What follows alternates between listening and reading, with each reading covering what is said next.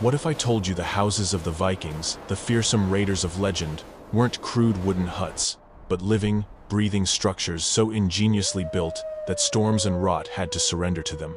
From that question arises a story of ancient carpenters who turned timber, stone, and earth into flexible fortresses. The Viking longhouse at first glance appears simple.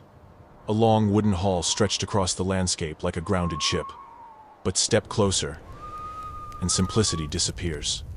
These langhus could reach 75 meters, sheltering families, servants, craftsmen, livestock, and the daily rhythm of an entire community. They weren't cabins, they were ecosystems.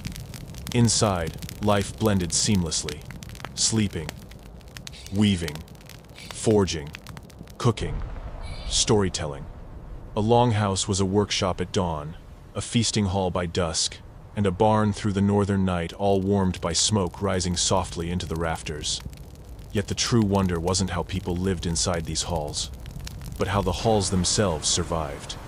How did timber and earth endure violent storms, constant moisture, freezing winters, and salt-heavy winds without nails, cement, or modern tools? How did these frames resist rot, flex with the seasons, and stand long after their builders were gone? To understand that, we must look past the walls. A Viking longhouse wasn't merely constructed. It was engineered, The hall was crafted with such insight and adaptability engineered. that even nature had to a yield. structure shaped with adaptability. The Vikings understood a truth many early builders missed. Water is patient, truth. and it destroys from below. Moisture was the silent enemy of northern wooden homes, so they solved it with elegant simplicity. Before raising a single beam, they built a dry stacked stone foundation, flat boulders fitted by hand without mortar, held together by weight and skill. On this platform sat the wooden sole beam, lifting the entire house above the wet ground. That small elevation changed everything. With timber raised, air flowed beneath the floorboards, drying the space, preventing rot, and keeping insects at bay. What looked like a simple row of stones became an early form of passive ventilation, a natural climate control system. Stone first. Wood elevated. A house built to breathe. This foundation allowed longhouses not just to endure brutal northern winters, but to thrive in them. The stones carried the load. The air carried the moisture away. The wood, spared from decay, became a living frame capable of lasting generations. In a land shaped by storms and frost, the Vikings began their homes with a lesson modern builders often forget. Survival starts from the ground up. When most people picture ancient houses, they imagine thick, rigid walls carrying the weight. But Viking builders followed a different philosophy. Their longhouses stood because of the frame, not the walls. Vertical posts, corner posts, mid posts. Inner rows formed a strong wooden skeleton. Massive horizontal beams locked into these posts, distributing weight like the ribs and spine of a living creature. This post and beam, or stave construction, became a hallmark of Scandinavian architecture for centuries. The walls, by comparison, were light and flexible. Thin planks hung between the posts like windshields rather than structural supports. In some regions, they even curved inward, echoing the graceful lines of the longships that carried Vikings across rough northern seas, a quiet reminder of their maritime heritage. This wasn't decoration. It was brilliance. With the frame carrying the load, the house could flex with the seasons. Storm winds bent the planks instead of breaking them. Humidity caused the walls to shift while the inner skeleton stayed steady. The longhouse didn't resist nature. It moved with it swaying, settling, adapting. In the harsh northern climate, that flexibility wasn't a flaw. It was survival. Step inside a Viking longhouse, and the first thing you feel isn't the walls. It's the vast, open space. Running the length of the hall, two or sometimes three rows of massive wooden posts rose like ancient trees.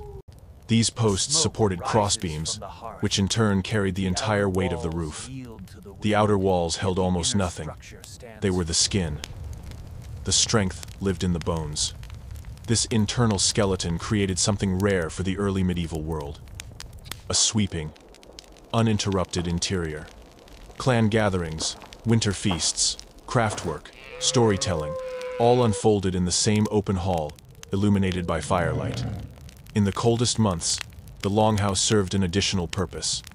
Animals were sometimes kept in designated sections, their body heat blending with the warmth of the hearth. Family, livestock, work, ritual, all coexisted beneath one roof, forming a single communal rhythm. And the design wasn't just social brilliance, it was structural genius.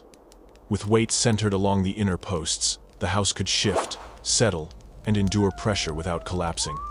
Storms battered the walls. Snow pressed on the roof. Yet inside, the hall remained steady, resilient, alive.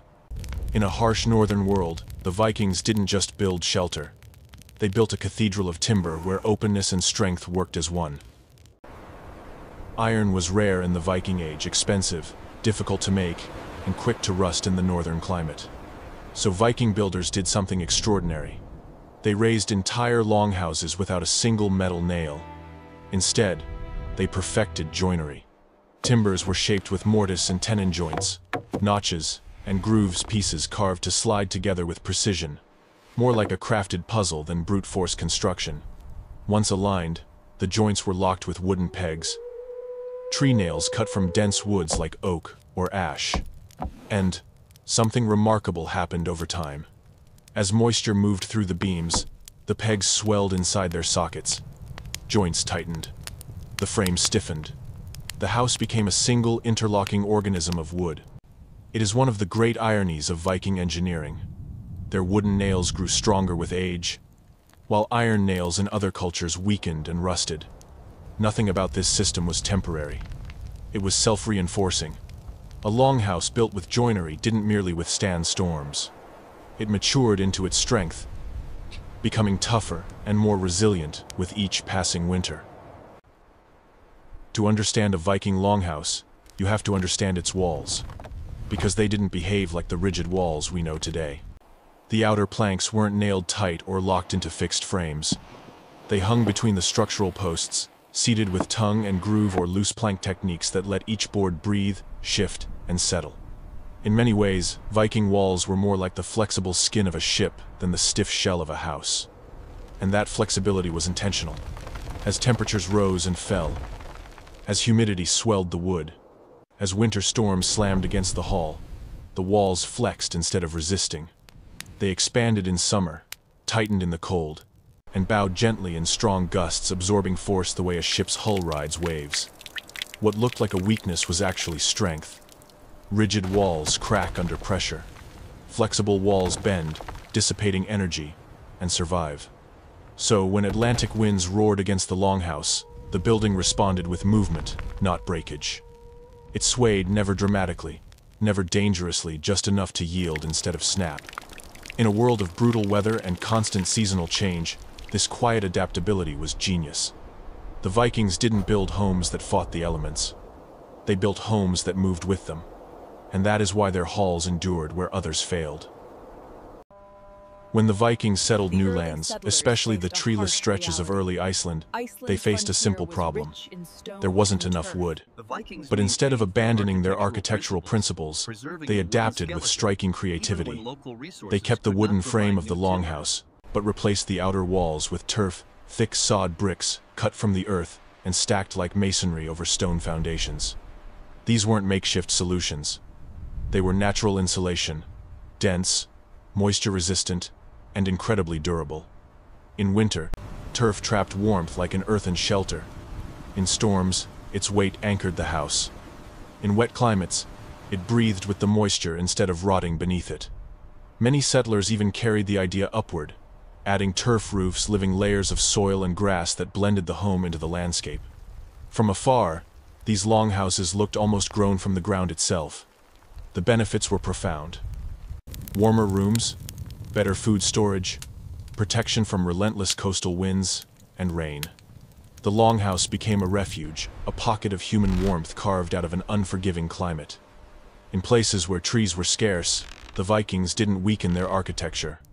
They evolved it, proving that survival belonged to those who listened to the land and built with what it offered.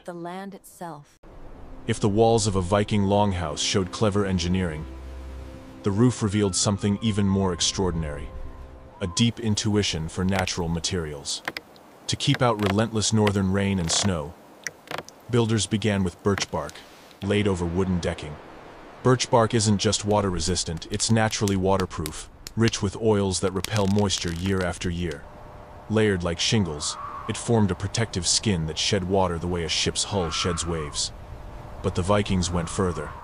They added turf or sod on top, thick, heavy layers of living earth.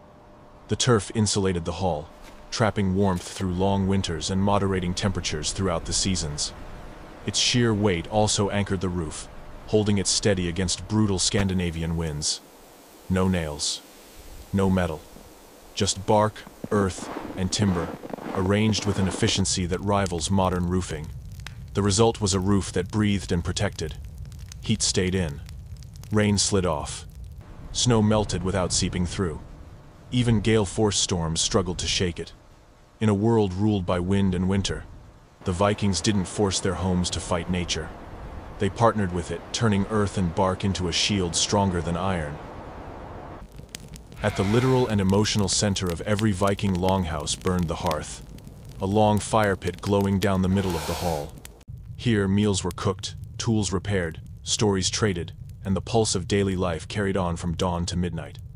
Benches lined both walls, shifting with the day. By daylight, they were seats for work and conversation. By night, they became beds wrapped in furs, warming children, elders, travelers, and warriors alike. The smoke drifting into the rafters might seem inconvenient to modern eyes, but to the Vikings, it was part of the design. The heat kept the hall warm through brutal winters, and the smoke preserved the beams above, deterring insects and slowing decay. In this dim, smoky light, the longhouse became more than shelter, it became a world. Feasts fire, stretched across wooden tables. Songs echoed through the roof posts. Arguments, alliances, and family decisions all unfolded in the same shared glow. Animals resting in nearby sections added warmth and rhythm to the nights. A Viking longhouse wasn't merely built. It lived a communal organism where every ember and every heartbeat belonged to the group beneath one roof. Building a Viking longhouse was never the task of one carpenter or one family. It was a collective effort, a project stitched together by labor, skill, and shared purpose. Trees had to be felled, hauled, split, and shaped into beams. Stones were gathered and fitted into foundations. Turf was cut into heavy sod blocks. No single household could manage all of this while farming, fishing, and preparing for winter. So they built together.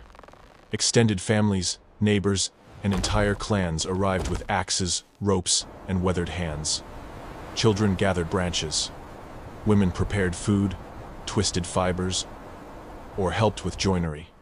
Men lifted beams, drove pegs, and set the frame piece by piece. Slowly, the Longhouse rose a monument not just to engineering, but to cooperation. And in that shared effort, something deeper formed. Every post carried the touch of many hands. Every stone held the strength of the group. When storms later battered the hall, it endured not only because it was well built, but because it had been built together. To walk into a completed longhouse was to feel that unity. You weren't stepping into wood and earth, you were entering a shared identity, a, living memory of a people who survived because they belonged to one another. Community. Modern architecture often celebrates rigidity, straight lines, tight joints, walls that refuse to move. We equate strength with resistance. But the Vikings understood something builders often forget. Sometimes a structure survives not by standing firm, but by yielding. The Longhouse was a masterclass in controlled flexibility. Its raised stone foundation let air move freely and moisture escape. Its stave-frame skeleton carried weight through posts and beams rather than brittle walls. The outer planks, hung loosely between those posts, flexed with heat, cold, humidity, and wind, behaving the way living wood naturally wants to move. The turf insulation and heavy earth roof added weight, stability, and breathability, allowing the house to settle with the seasons. Each component board, beam, stone, sod, worked together like a living system. In storms, the longhouse swayed instead of snapping. Under snow, the roof compressed and warmed rather than collapsing. Where rigid structures cracked, the Viking longhouse absorbed pressure and endured. This wasn't decorative flair. It was survival engineering born from centuries of reading landscapes, weather, and the uncompromising north. The Vikings didn't build homes that fought the elements. They built homes that harmonized with them, and that is why their halls stood where stiffer structures would have shattered. The Viking longhouse is more than a relic. It's a reminder of how humans once built with insight, humility, and harmony with the land. Viking builders understood their materials stone for lifting wood above moisture, turf for insulation, bark for waterproofing, timber for strength. None of it was decorative. Every element was chosen for function, longevity, and balance with a harsh northern climate. In its simplicity, the longhouse was profoundly sustainable. It breathed with the seasons, aged naturally, and required no steel, no chemicals, no machinery, only knowledge, melts, time, rises, and the hands of a community working creaks, together. As our world now faces unstable climates and searches for eco-friendly housing, the Longhouse feels less like ancient history and more like a guide. We don't always need to fight nature with concrete and rigidity.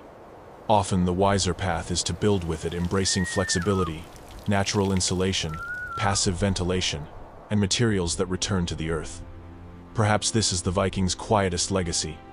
Not their raids, not their battles, but their ability to take wood, rock, turf, and bark, and shape them into homes that lived homes that adapted, endured, and served generations. Sustainability, it turns out, isn't new. It's remembering. So, next time you think of Vikings picturing raiders marauding with axes and shields pause, imagine instead the craftsmen, the carpenters, the builders who raised massive, stormproof, frost-defying halls by hand. What other lost technologies or forgotten wisdom might we rediscover if we only dare to ask the right questions? If you're curious to unravel more of those hidden secrets of ancient civilizations, the ways they harnessed nature, survived harsh climates, and built societies around shared fire and timber, subscribe to Prehistoric Shadows. Stay with us as we journey not just through bones and stones, but through the heartbeats of humanity's past. Until next time, may your curiosity always outlast the storms.